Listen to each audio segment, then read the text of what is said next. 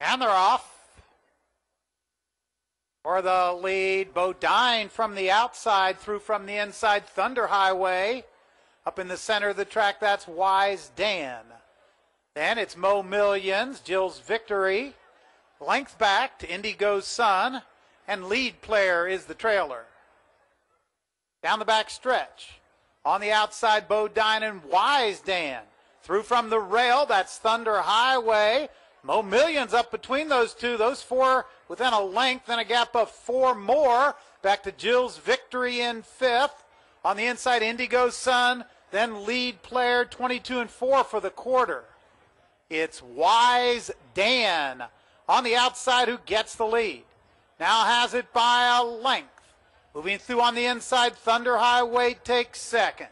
Mo Millions from between horses. On the outside, Bodine still right there.